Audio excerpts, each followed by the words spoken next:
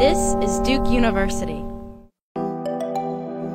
We are in China. We're here as part of an undergraduate research course. We're trying to bring our know-how here and give the next generation of scientists and engineers like ourselves the know-how to go and solve environmental problems worldwide. My name is Mike Bergin and I'm a professor of civil and environmental engineering at Duke. We're here as part of an undergraduate research course. We are at Duke Kunshan University. We're here conducting research into air and water pollution. I'm gonna stick the thermometer in here.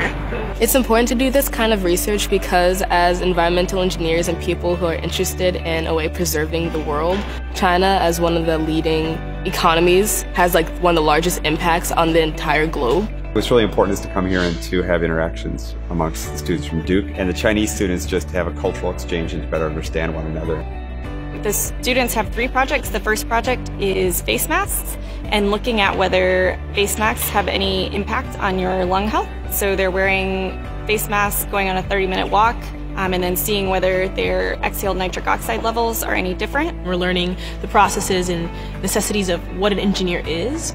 I knew that coming to Duke I would have opportunities like this. I just didn't know that they would come so soon.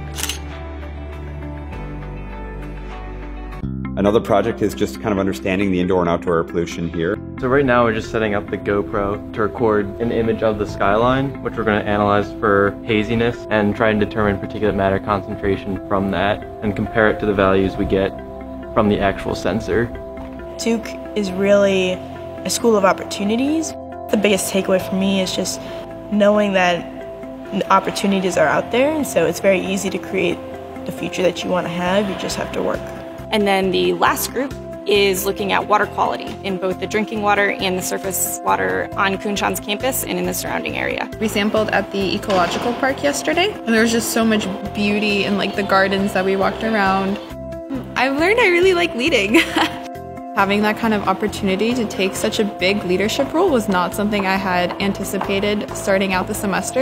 It is great that students uh, as young as freshmen get these leadership roles I think that it shows how much dedication Duke has to its undergraduate students. It's really amazing, honestly, because in class, you don't get this hands-on application of what we're learning. You get much more excited about learning things and book work when, when you know how it's going to be used. I think the relationship between Duke Kunshan and Duke is a great resource, that there's a lot of people on the ground here.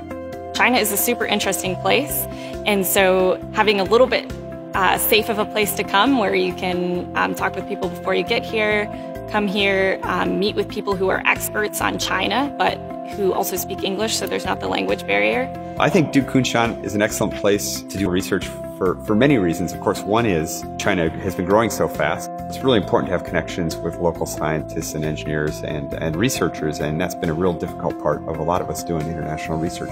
So here we have that, it's real natural, and they're very much tied into the region and the country, and this has helped us greatly. I'm really grateful that I had the opportunity to come and be a part of it. The food is just absolutely delicious. Of course, the tea too is high quality. Shanghai was amazing and absolutely blew my mind. It's been really fun having people to like get to know and befriend on this trip. You can see beaches anytime, but visiting a whole other continent can't do that often. I don't recall any moment of this trip that I am not incredibly thankful for.